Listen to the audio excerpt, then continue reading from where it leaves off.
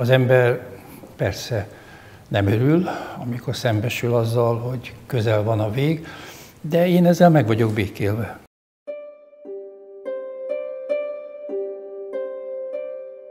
Tisztában vagyok vele, hogy ez egy gyógyíthatatlan betegség, és hiába győztek most az én jó sejtjeim, de azért ott van az a klón, amelyből majd újra el fog indulni ez a rákos folyamat. Ebből a betegségből igazából nem lehet meggyógyulni. Az átlagos túlélés az két év, tehát az jövő május. Jó lenne egy kicsit annál tovább élni. Így festi le reálisan helyzetét Cejzer Endre, akinél másfél éve diagnosztizáltak leukémiát, de az ország genetikusa bizakodó pár hete visszaállt a munkába a Magzati Diagnosztikai Központban, ahol az interjút adta a Bliknek. Én olyan jó erőben vagyok, hogy nem is kell nekem erőt adni. Tehát egy kicsit ugye a vesztemet is érzem, mert tényleg úgy érzem, hogy nagyon szóval egészségesnek érzem magam, pedig tudom, hogy mi a sorsom. Ez egy csoda, mert lényegében olyan tíz héttel azelőtt, amikor kórházban voltam, akkor nagyon rosszul alakult a állapotom.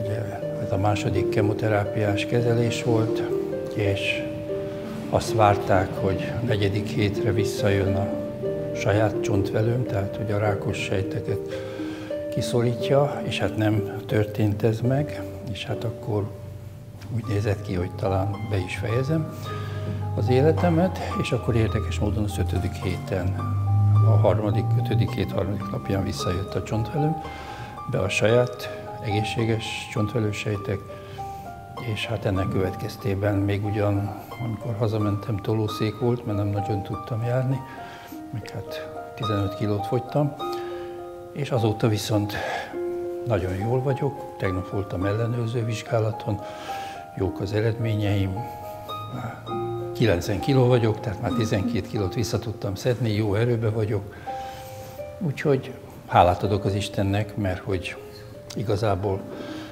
ez sokkal jobban alakult, mint ahogy reméltük. A 79 éves kutatóorvos megbékélt a közelgő halál gondolatával, és ha visszatekint az életművére, nem érez benne hiányt. Amikor az ember megtudja, hogy a betegség gyógyíthatatlan, ráadásul azért 79 éves vagyok, tehát eleve már 9 évvel tovább élek, mint a magyar férfiak átlaga, akkor az ember végig gondolja azt, hogy igen, hát ez a világ rendje, hogy születünk, élünk és elmegyünk, Ráadásul szerencsére azért úgy érzem, most Bartók Béla jut eszembe, mert ő azt mondta, ő 62 éves volt, azt hiszem, amikor meghalt, hogy teleputtonnyal megy el.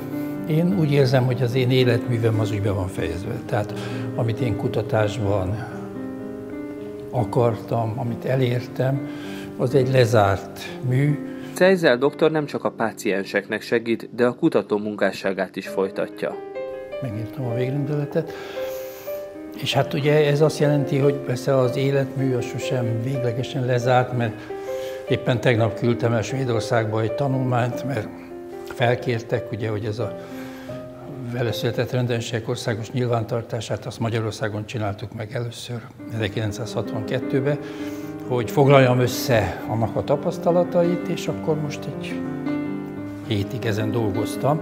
Halálos betegséggel együtt élni nagyon nehéz teher, de ha már cipelni kell, a genetikus szeretne segíteni, pozitív példával járni a sorstársai előtt. Azt remélem, hogy talán ebből a példából, hogy igenis azért a halál, a gyógyíthatatlan betegség, az nagyon rossz. De azért ettől nem kell kétségbe esni, és ezt is emberhez méltóan lehet vállalni, és persze mindent meg kell tenni, hogy ez minél később következzen be, mert amikor mondjuk a kórházban voltam hat hónapig, láttam, hogy ott voltak olyan paciensek, akik föladták, és általában nem mentek haza. Tudni, ha én harcolok azért, hogy éljek, ez az én immunrendszeremet segíti.